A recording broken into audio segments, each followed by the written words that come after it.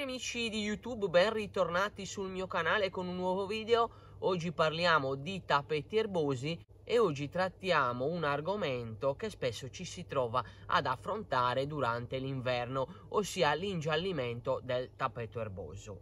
Eh, parliamo di microterme in questo caso perché eh, diciamo che sono i tappeti eh, sempreverdi, coloro che dovrebbero rimanere sempreverdi anche durante l'inverno, quindi escludiamo le macroterme che vanno in riposo vegetativo. Nelle microterme spesso accade di trovare comunque ingiallimenti durante l'inverno. L'ingiallimento del tappeto erboso durante l'inverno eh, di per sé non è preoccupante, ovviamente dipende anche da che eh, specie abbiamo. Ad esempio una festuca rondinacea durante l'inverno tende ad ingiallire. Eh, poi eh, ci sono diversi fattori, ora vi spiego bene. Parto col dirvi che la festucca è eh, tra le microterme, diciamo, la più macroterma, ossia tende durante la stagione invernale sotto determinate temperature, ovviamente ad arrestare la crescita e ad ingiallirsi, quindi la foglia diventa proprio gialla. Ehm, addirittura anche bianca in alcune, in alcune occasioni e eh, rimane così poi per tutto l'inverno. Questo evento qua non è altro che l'abbassarsi delle temperature e quindi comunque la foglia eh, perde un po' di pigmentazione e ingiallisce.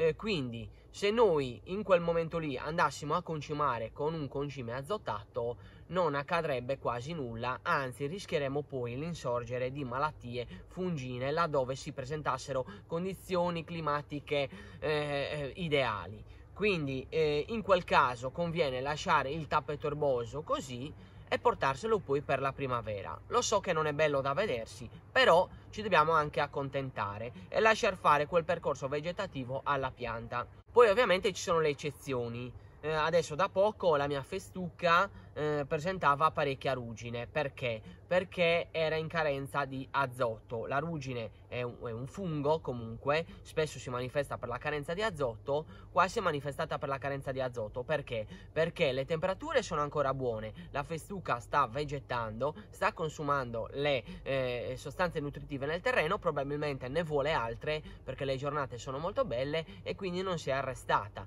Quindi se io adesso dovessi concimare anche con un concime ad esempio azotato a pronta cessione, un nitrato eh, di ammonio, risolverei questo problema nell'immediato. Se ovviamente ci fosse molto freddo e io avessi della ruggine, eviterei di concimare, magari farei un trattamento per la ruggine eh, e la lascerei così. Male non fa, non succede niente, anche se è brutta da vedere. E poi ci sono le malattie fungine, l'eccesso di irrigazioni oppure l'eccesso più che altro di precipitazioni che porta comunque ad avere il terreno sempre eh, diciamo zuppo di acqua e quindi c'è un po' di marciume, eh, ci sono un po' di zone eh, che magari tendono a eh, essere eh, sommerse dall'acqua, quindi il prato si rovina. Ehm, quindi diciamo che bisogna capire bene innanzitutto il perché eh, c'è questo ingiallimento. Spesso quando mi dite ciao Luigi perché ho il prato giallo è difficile capire perché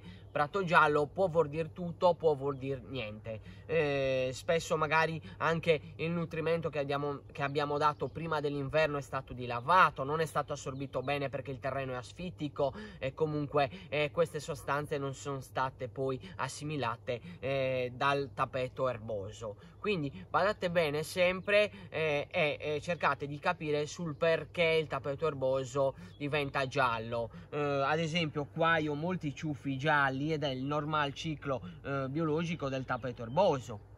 Ok, io faccio così, vedete, mi rimangono comunque delle foglie gialle, secche, perché comunque il tappeto erboso perde le sue foglie e ne rigenera nuove quindi è anche normale che accada questo. Quindi non allarmiamoci non partiamo subito col fungicida o partiamo subito con il concime perché poi magari rischiamo di fare danni più di quel che eh, c'è magari nel tappeto erboso che altro dirvi? Magari eh, cercate anche tramite le foto, anche tramite i video di capire se si tratta di ruggine o se si tratta del normale ingiallimento eh, del tappeto erboso. Trovate comunque tutti i video nel mio canale, vi invito a vederli, ve li metto anche qua eh, a fine video. Con questo è tutto, spero di essere stato utile, era un breve video giusto per chiarire i vostri dubbi, vi ricordo di iscrivervi al canale, attivare la campanella per le notifiche in modo da rimanere sempre aggiornati, poi se volete pagina Facebook, Instagram, Greenhouse Italia e vi aspetto alla prossima, ciao!